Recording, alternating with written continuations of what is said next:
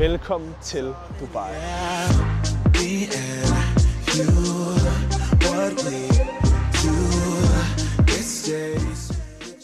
Det er dag 1 på Dubai, eller det er faktisk ikke reelt, det er dag 3 på Dubai. Det er mandag lige nu, vi landede i lørdags, men øh, af gode grunde, så har vi ikke filmet, det kan I lige se her. Som man nok kan se, så er det ikke Rasmus, der holder kameraet, men det er mig, fordi Rasmus er møgsyg. Men jeg er kommet på toppen nu, det var altså virkelig 48 timer i total tortur. Men det første, vi skal gøre nu, hvor jeg altså er blevet rask, det er selvfølgelig ind og shoppe i det største shoppingcenter i hele Dubai. Har du noget, du skal sådan shoppe? Er der noget bestemt, du går efter? At bruge så mange Rasmus' penge ja, som overhovedet muligt. Det er ikke altid det, der er meningen med det her video, altså. Øhm, vilde scener lige nu. Vi er lige kommet ind i shoppingmålet, og det første, vi ser, det er simpelthen et undervandsakvarium. For lige hurtigt at forklare, hvor stort det her mall egentlig er, så fik vi at vide, at hvis du går en hel dag i det her Dubai Mall, så vil du alligevel aldrig nogensinde kunne gå hele mallet igennem. Så stort er det altså. Okay, ikke nok med, at der er et akvarie herinde, og ikke nok med, at man ikke kan gå hele mallet på en hel dag, så er der også et springvand. Yeah.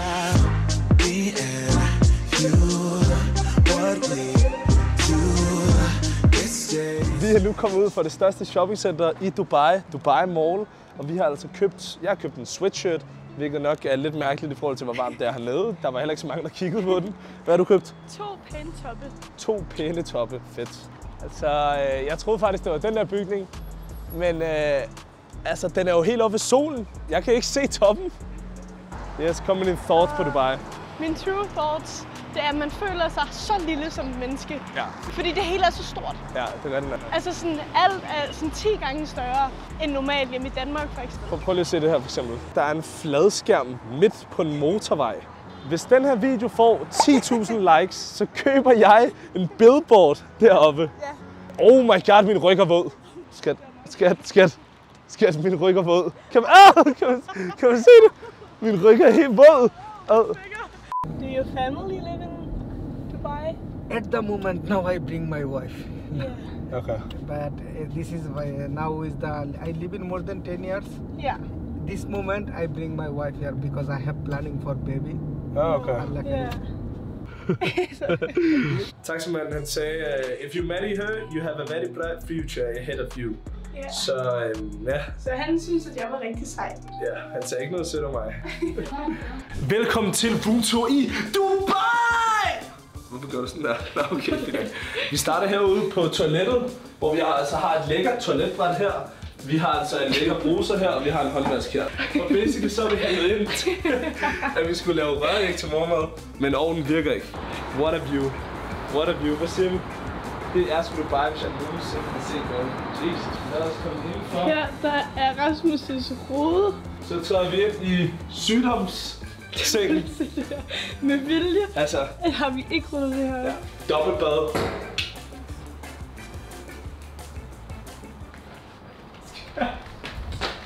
Jeg gider ikke at flippe filmet mere. Jeg opsummerede lige hurtigt for 5 minutter siden, der sad Sofie græd i sengen, fordi hun var så sulten og sagde, at vi skulle løbe ud og have noget aftensmad. Nu sidder vi med høje hæle på, som ikke kommer til at på i dag, fordi vi skal gå langt for at tage Instagram-billeder. Ja. Nogle gange, der vil man sgu ønske, man datede en mand. What do you mean by that?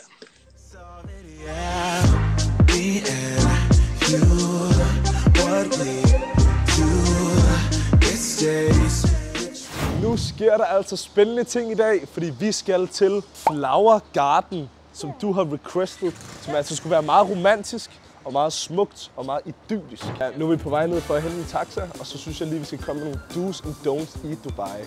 Don'ts. Man må ikke holde i hånd. Altså man må gerne, men man må ikke. I sidste ende så handler det jo egentlig bare om at have respekt for en anden religion, en anden kultur. Ja, vi har lyst til at holde i hånden. I hvert fald en af os har. Men jeg respekterer kulturen. Jeg vil ikke gøre noget, der har ramt i filmen. Og så nu til du i Dubai. Spis ude. Alt mad er hjernedødt hernede i Dubai. Altså det smager virkelig, virkelig godt alle steder. Alle de restauranter, vi har været på, har været 10 ud af 10. Er du klar til at blive overrasket med en masse blomster? Ja, er det dig, der har lavet haven til mig? Det er mig, der har lavet haven. Det er mig, der er MR. Kommer du så også til at få en lille ring på den her finger? Nej. Ah, Ser jeg brun ud? ja, faktisk. Gør jeg? Mhm. Fedt. Jeg synes faktisk, at folk er meget sødere hernede, end de er i Danmark. Det kunne vi faktisk i Vesten godt lære lidt af. Folk er meget mere søde. Jeg ved ikke, folk er bare anderledes. Altså, ham med, han siger, at jeg er en smuk blomst, da jeg trådte ind i taxaen. Altså, det er jo fornøjelse. Er det på grund af mig, du tager i Flowergarden? Nej, det er på grund af, at jeg faktisk... Det, ja, jo, det er det. Det er det. Det er på grund af dig. Er det ikke på grund af din blog? Nej, det er ikke på fordi grund af jeg vil. Det er fordi, du gerne vil. Jeg er sikker på, at bloggen rigtig gerne vil se en masse flotte blomster. Ja. Fordi her kommer der en montage af det. Var det ikke meget sejt? Nej. Jeg føler faktisk, at vi har et lille problem. Vi skal ind et sted, hvor der er en masse blomster og en masse græs og grønt. Hvad kunne være et problem for mig der? Jeg har høfeberallergi. Ej, ej, ej. Vi er ankommet til Dubai Miracle Garden, og jeg har altså betalt 600 kroner, for at vi kan lov til at filme herinde, okay? Altså, hvad er det her? Det er indjørninger, skat. Det er indjørninger. Lavet- Altså, det er jo ikke ægte græs, vel? Prøv, jo. Men hallo, hallo, kan vi lige snakke om, at efter jeg har betalt, så siger ham der i radioen, everyone, the guy in the white shirt, eller the guy in the black shirt, you have to, you have to protect him, be kind to him. Du, det tror jeg er den største influencer i hele verden. De råbte lige, skat, we know you, men det passer jo ikke. We know you. De Øh, råbte lige, de råbte sådan, YouTuber, YouTuber, we know you. Snakker dansk. Hvad kan jeg sige? Hvad kan jeg sige? Logan Paul has arrived. You feel me? You, you get what I'm saying, Jamie? You got me. So only Denmark, Danish. La- no English. No English. But thank you. altså, det er altså lidt væk af alle de der security guards, de kommer over. og siger de, are you famous YouTuber? Can I follow you? Can I follow you? Og, og de andre, og de andre råber, I know you. I know you. No, you de don't. Synes folk, det her er sødt, eller hvad? Nu ved jeg ikke, om der er nogen mænd, der ser med lige nu. Men man er nået en alder, hvor man ikke gider at se sød ud mere. Nu vil jeg gerne se... Ja, okay, filmer noget på min shorts og Birkenstock. Det er crazy, det der. Hvad er din yndlingsfarve? Det ved jeg ikke, men I know the guy in the black shirt must be protected at all times in here. Ej, du får Hvad siger ikke du? det Min, der. min, Me and you, what we do, it stays between. det er officielt blevet næste dag, og nu skal vi til Aya Aya Universe. Som åbenbart er et eller andet sådan noget illusionsagtigt univers, hvor der er alle mulige LED-strips og sådan noget pis, tror jeg. Jeg ved det ikke helt. Men vi skal i hvert fald derhen i taxa nu. Det øh, bliver lige på telefonen, I får en update, fordi det er lidt nøjere. Der er sådan noget kamera og sådan noget hernede i Dubai. Man skal lige passe på indenfor. Men jeg... vi er altså trådt ind i det her nu.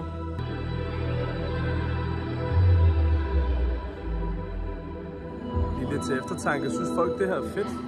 Eller er det whack? Tror lidt, det er sådan en pige-ting, ikke? Synes du, det er fedt? Det er for cool, det her. Jeg havde ret.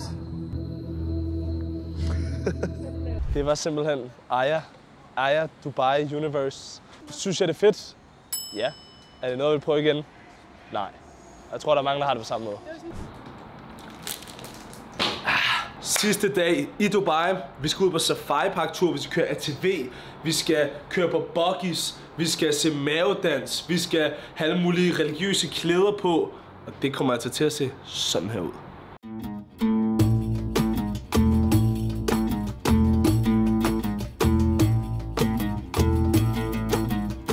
Ser sej ud. Ja. Hvad hvis jeg gør sådan her? Øj.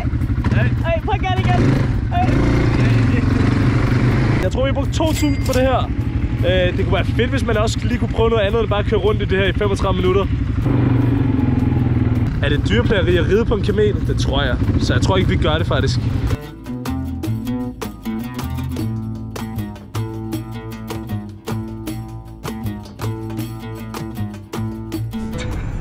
Men okay, status. Øh, der kommer en mand til mig, og han begynder bare at tage tøj på til mig.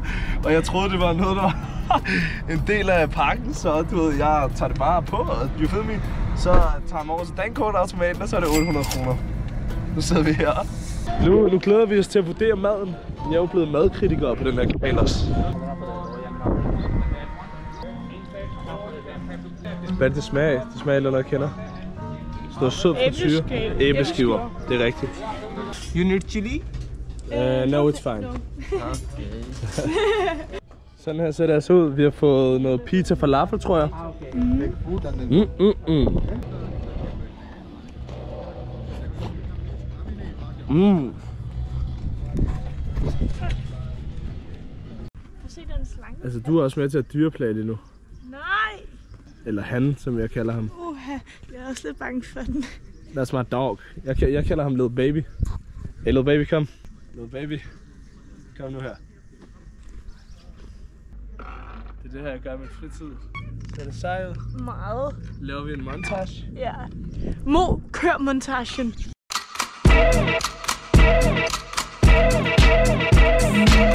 Synes folk, det her er sødt, eller hvad? Jeg synes, du ser sød Første måltid, det er noget mar- marokkansk, ikke? Og så har jeg så taget en hel masse grillet oveni. Shit. Altså, low-key, 1000 kroner. Det er faktisk value, det her tilbud. kan bare sidde og slappe lidt af.